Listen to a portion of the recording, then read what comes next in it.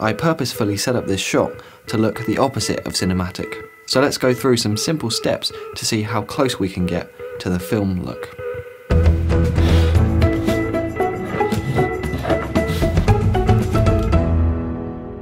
If we want our shots to look like movies, then first we should think about composition, the way we position the camera. It's a huge topic, but here are some common techniques from films that we can start with. In an average scene, the camera is at the same height as what's being filmed, so let's bring it down to eye level. Since our character is facing to the right, we'll move the camera until there is space on the right hand side, which usually looks more natural. Now probably over 90% of shots in films have a dead level camera, so let's adjust it until our horizons are flat. Now most tripods do have a leveling bubble so we can be precise.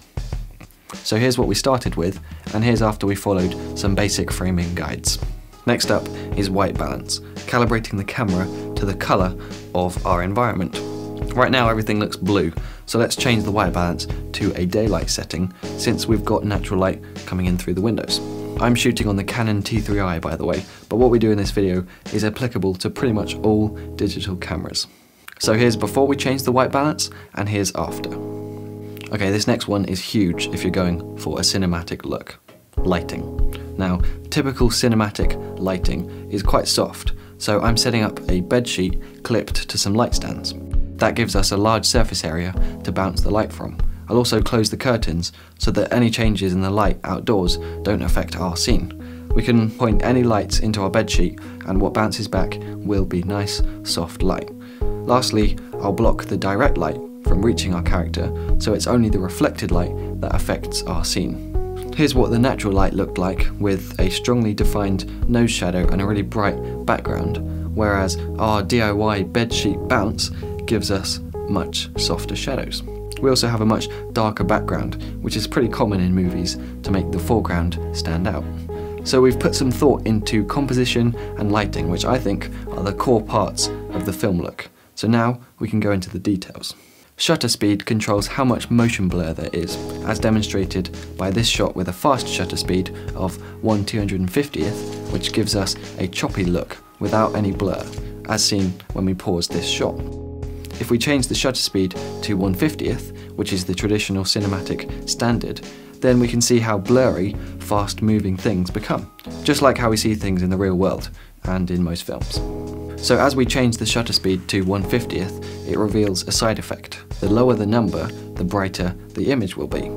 So now we have a really bright image, but we can fix that easily by lowering the ISO, which you can think of as a last resort for making the image brighter. That's the great thing about using lights. It means we don't have to use a high ISO, which results in digital noise that isn't very cinematic. So there we go.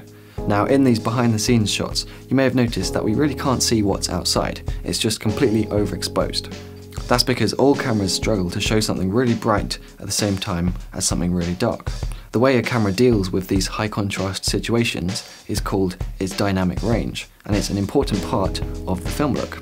We can improve our camera's dynamic range by shooting flat, reducing the contrast and saturation while recording so that we have the best foundation for colour grading afterwards. I've been using the Vision Colour profile for the last few months. I've been pretty impressed with it, after hearing more and more that those super flat profiles, like CineStyle, might not really suit cameras like this that have relatively low bit rates and colour depth. So since we shot with the Vision Colour profile, we'll definitely do some grading. I've done a whole video about this, which you can find at the first link in the description to see how I usually do it. But for now, here's what it looks like before colour grading and after colour grading. I think it's important to mention that most of this stuff can be done on all digital cameras, you just need to find the right buttons for your specific camera and you're done. But I think lighting and composition make the biggest difference, so we should focus our efforts there rather than on just the camera settings. And let's not forget that creating cinematic images isn't what filmmaking is all about. There are lots of different sides of filmmaking and they all deserve equal attention. My name's Simon Cade, this has been DSLR Guide and I'll see you next week.